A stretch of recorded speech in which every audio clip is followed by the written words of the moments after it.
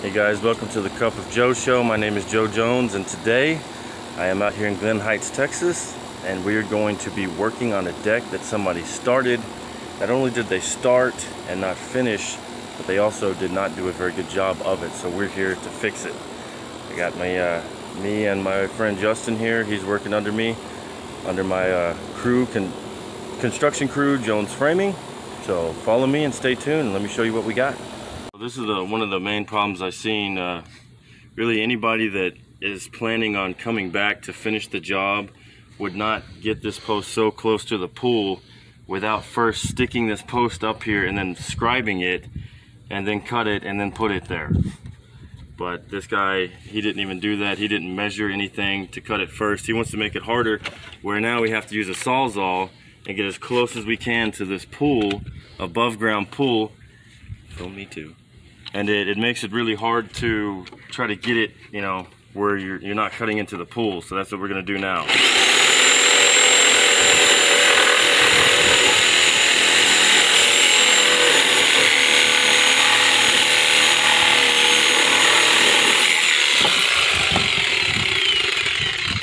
That came down really fast because I've already cut halfway through this whole thing.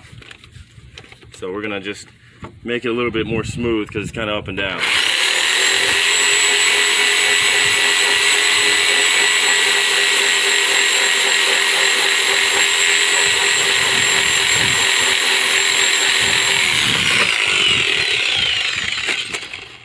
We want that to be completely flat when we put these deck boards on if this is higher then that's going to hit and it's going to knock that deck board up way too high also Another reason why he should have cut that first is because now you got all the sawdust going into the pool and nobody wants that.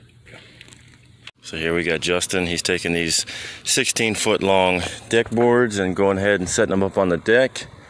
Uh, we are going to, I'm going to get up there and mark them all to cut them to the shape of the pool, the angle of the pool. It's like an octagon pool here. So we are working on yesterday. We started on this yesterday.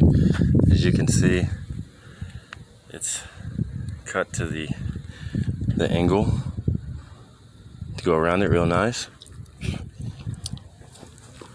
Now let me say, uh, this is the deck that I didn't build any of this stuff here on the bottom. I didn't do any of the post any of the framing on underneath. Um, as you can see, a lot of these posts are very crooked. The guy didn't level anything. That's barely even, you know, sitting on the block. Other thing is like stuff like this, we're gonna have to go back and reinforce all of this stuff here, his joist. I mean, some of them are so bad, it's just very unprofessional. I mean, you got big gaps here and uh, crooked boards. You know, as you can see, that's got a gap in it, and it's got one nail that's barely holding. He barely shot it through the side here. And these particular people have uh, grandkids that's going to be playing up on this deck, so we can't have anyone coming up on this deck where there's nails that are, you know, only one nail is in and one nail missed. And I mean, as you can see right there, that big old gap there. Not sure if you can see that guys, but there's a big gap right there on that joist. And uh, we're gonna fix that, but this is just completely unacceptable here. All three nails pretty much missed. And that tells me this guy just doesn't know what the heck he's doing and uh, very unprofessional.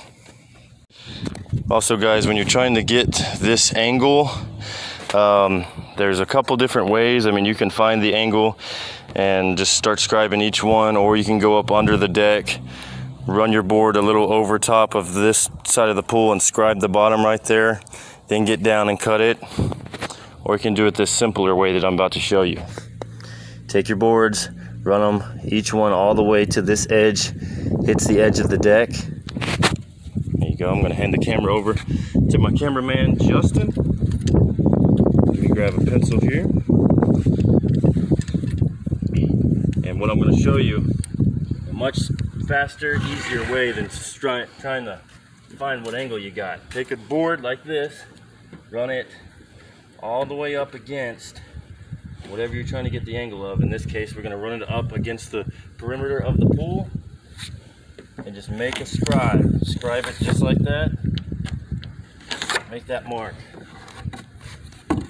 Now when I go back and cut all of these, all of these deck boards are gonna slide right into place. Also come down here, let me show you this. If you're gonna be doing it this way, you gotta make sure that you have enough hanging over. Because once you cut that, it's gonna take about six to eight inches off. And like this one here, we may not be able to do that because that's gonna be really close. We gotta make sure that this end of the board doesn't come in past the outside edge of the deck. All right guys, we're gonna go ahead and cut that angle right now on these.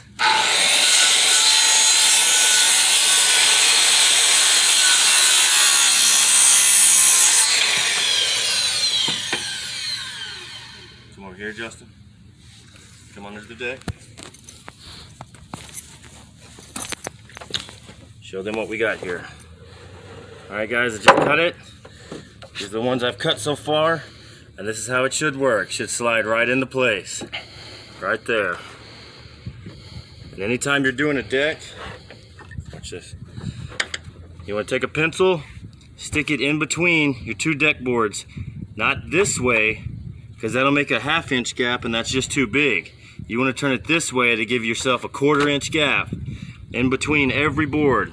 And you got to keep doing it on every single joist or you'll end up with something way too big down there, too small in the center. You gotta gauge it every single joist and shoot it or screw it. And that's how you do it. We're cutting these angles here, here to here, to do it the right way. Unlike this guy who just runs all his stuff square and doesn't even try to angle his stuff. I mean, this is just terrible. Look at that. Look at this. Look at the, the poor craftsmanship. Doesn't even angle, doesn't even try. So let's see how we did.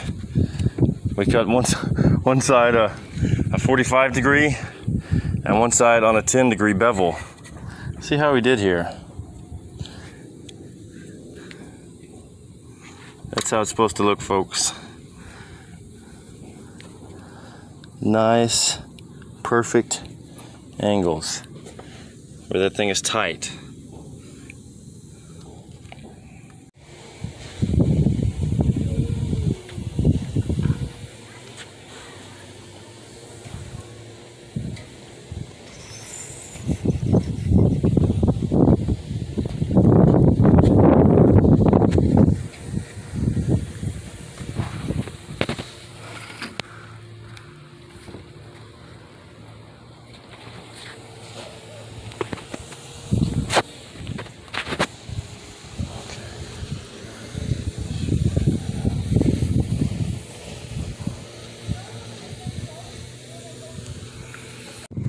This is the end result of today. This concludes the deck, the pull, te- pool deck, part one. Thanks for watching, guys. Stay tuned for part two. We'll be at some stairs and a little walkway going from here to there. Stairs will be over here, and that's it.